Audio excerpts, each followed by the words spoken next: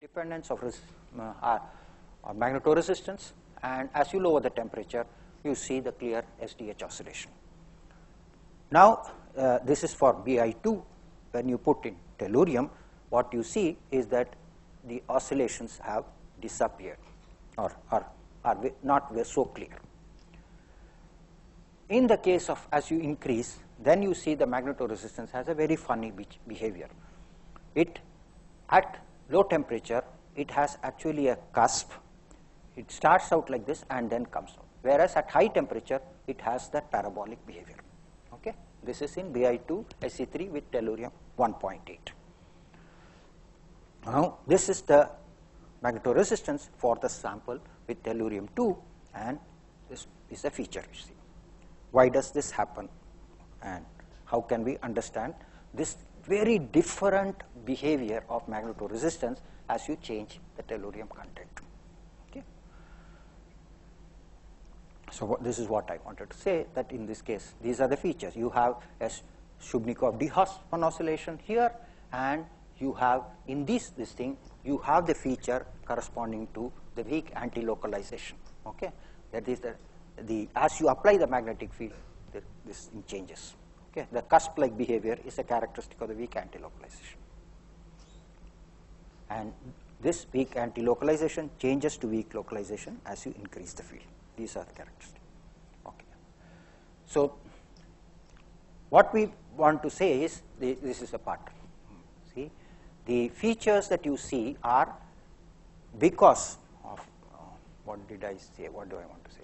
Ah, you have this very dramatic differences in the uh, magnetoresistance behavior, and this we can appreciate or understand in terms of the uh, uh, essentially from a Shubnikov-de oscillation changing over to weak anti-localization, and this is okay. Let me see here.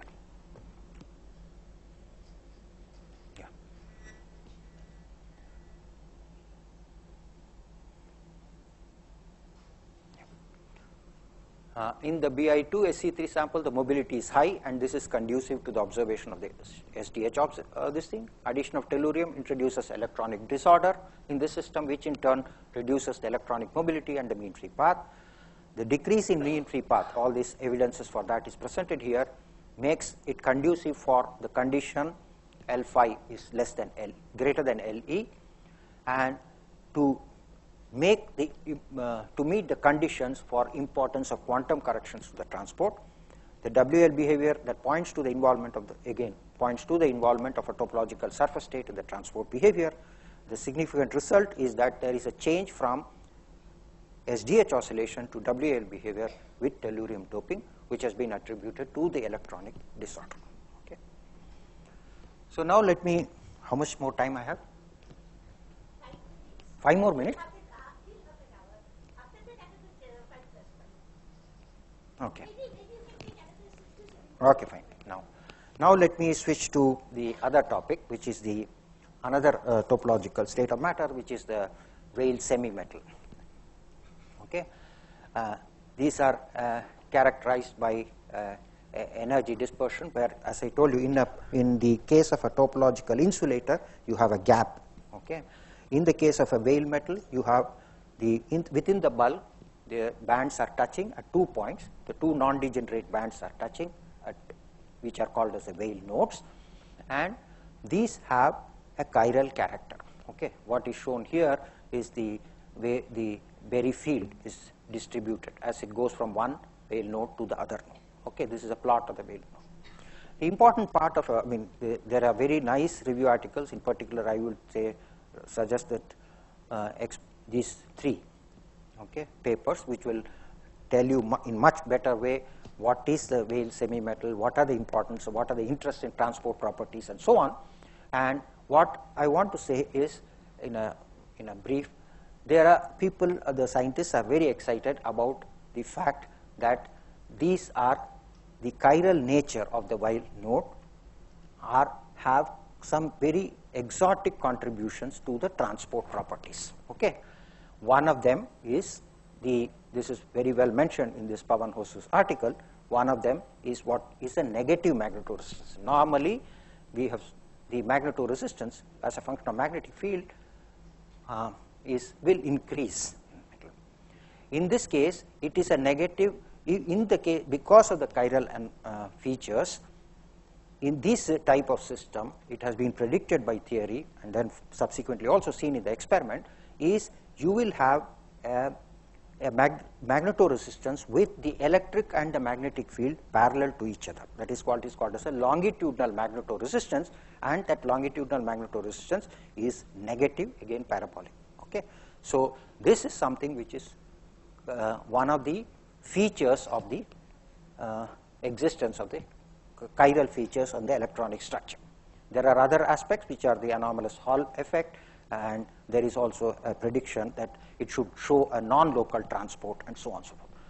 We, I will concentrate on the magnetoresistance part of it, uh, in particular trying to look for the negative magneto longitudinal magnetoresistance which has been predicted to in the Weyl semi-metal. I should also mention that apart from negative magnetoresistance, all these uh, Weyl semi-metals or these class of materials show a very large magnetoresistance, which is called as the ex extremely large magnetoresistance. We look at this aspect. Okay.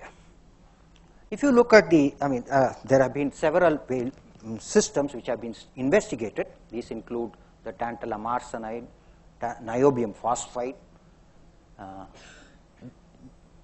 WTE2, and there are other systems which have been investigated, which include the tantalum ars, uh, diarsenide, niobium arsenide, and so on. If you look at all the papers, then you will find that most of them will have, if you plot the resistance, resistivity as a function of temperature, this is uh, in various magnetic field, this is at zero field. As you increase the field, it starts bending up, it starts uh, what you call it appears like going from a metal to an insulator behavior and it also has a saturation at low field. This is in the transverse magnetoresistance. These are generic features which are seen in this type of metal. And if you plot magnetoresistance as a function of magnetic field, uh, here the magnetoresistance increases and increases parabolically and more importantly, it also does never saturates. It keeps going uh, parabolically. So this is one uh, uh, another feature you would see.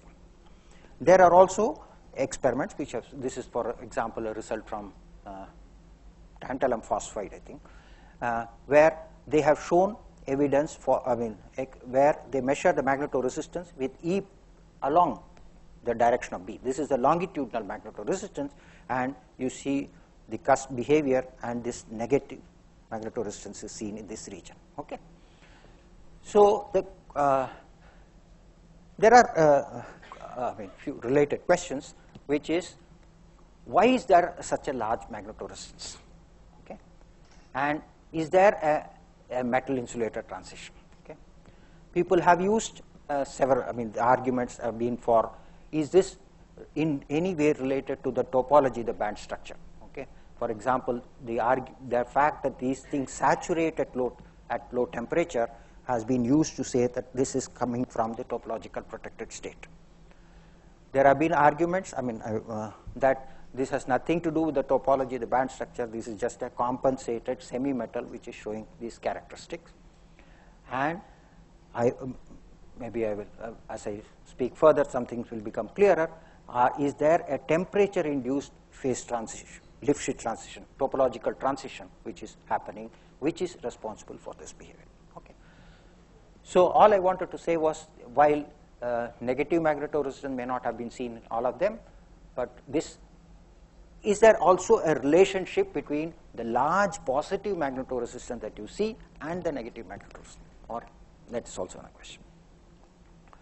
We did, uh, we are, we have, while we have done on other systems also, I will present the results on magnetotransport in the TAAS2 system. A priori, this is not supposed to be a Weyl semi-metal because the crystal is centrosymmetric, so the, you, are, you do not expect to have Weyl nodes. Okay? And we have done, prepared these crystals, single crystals, and these are the Raman characterizations on this. I will talk about the experiments on the and we have done experiments on magnetoresistance, the Hall measurement, in this case the SDH and the d one oscillation, and the experiments have been done both on the pristine sample and the irradiated sample to explore the role of uh, disorder of this behavior. Why did we do the TAS2? Did the TAS2 because of the, there has been a report, I mean, in 2015, on uh, anomalous electronic structure and magnetoresistance in TAS2 by this uh, J.D. Thompson's group. Uh, this is the result of uh, the transverse magnetoresistance, huge amount, maybe about, about uh, 10,000 or 15,000. And but more importantly, they saw this negative magnetoresistance in this sample. Okay, that is, this is the if you measure with the electric field parallel to um, uh, magnetic field parallel to the electric field, then you see this negative magnetoresistance. But this is not expected from TAS2.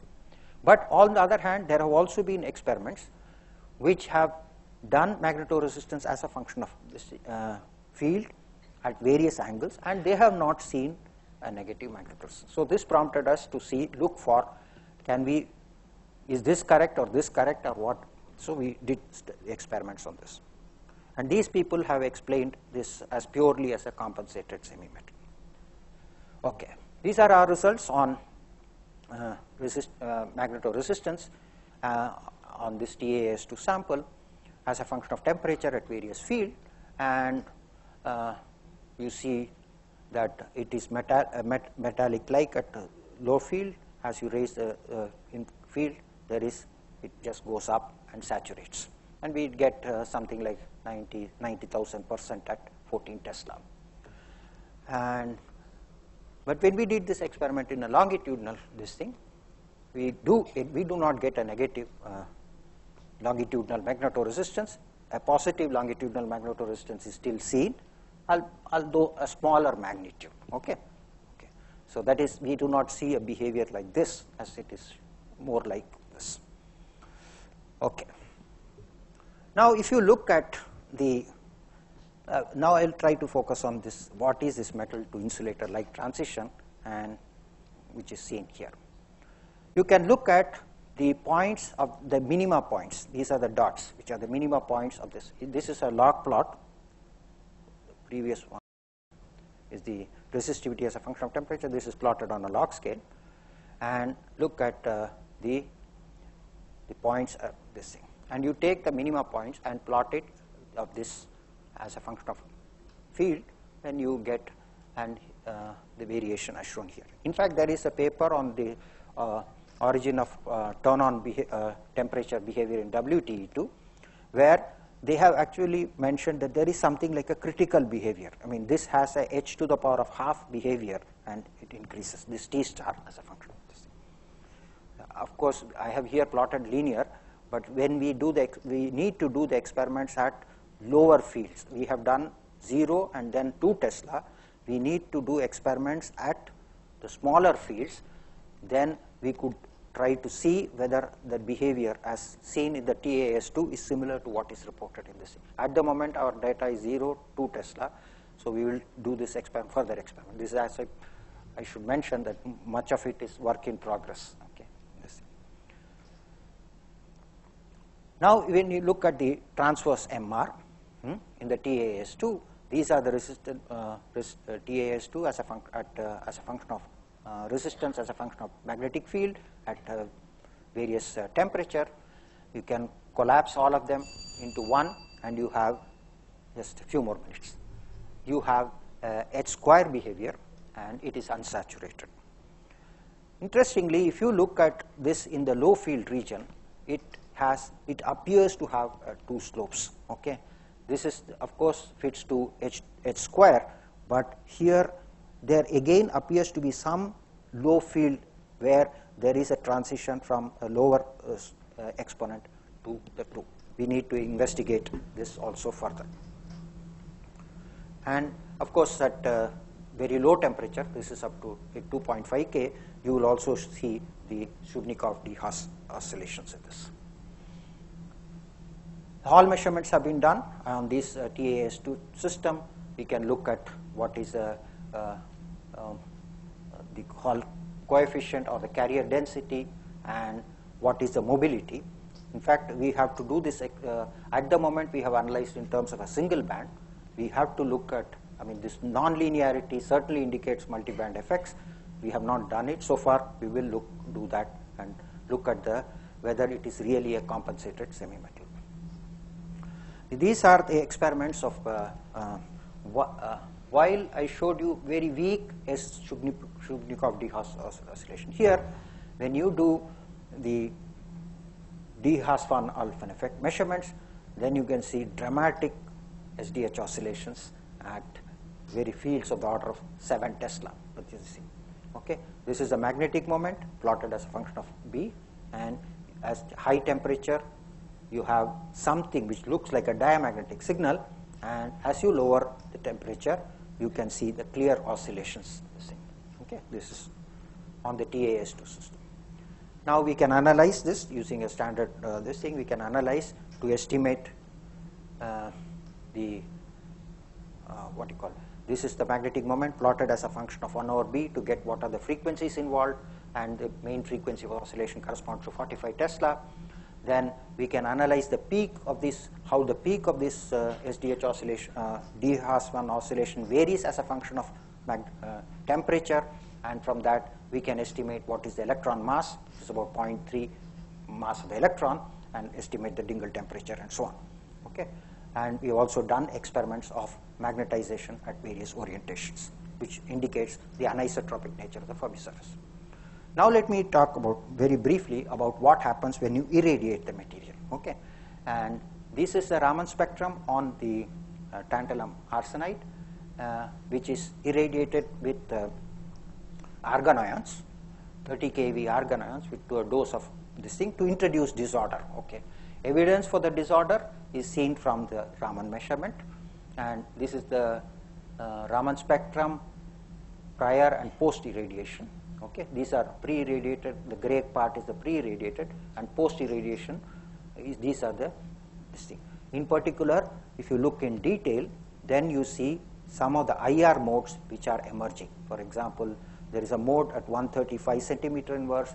There is a mode at 179 centimeter inverse which have emerged, which are identified with IR modes. So, so this clearly indicates that uh, IR modes have got activated, uh, and these are arsenic-related modes and that is disorder introduced by irradiation. So there is an evidence for disorder which has got introduced by irradiation. Now when you do the magnetoresistance, then on the irradiated sample and compare it with the unirradiated sample, what we find is if you, this is an ex, uh, uh, at 0 Tesla, I think, yeah, 0 Tesla. So on irradiation, actually the resistance comes down and this is at uh, 2 Tesla, this is the curve and this is at 14 Tesla. So the resistivity decreases on irradiation. Okay. Now here is, let's look at the effect of uh, uh, uh, a comparison of what, how does the curve of the resistivity look um, with temperature at various magnetic field prior and to post irradiation. Okay, these are the curves of uh, how does this turn on temperature, uh, the, the, the fields at which the metallic to insulating type, how do, does it change with irradiation? Okay, that is studied in this. Does the parabolic nature of magnetoresistance with B, does it change? What we find is it retains its parabolic dependence. Then, sorry, we have uh, looked at the Hall data and looked at the changes in the uh, carrier density and the mobility.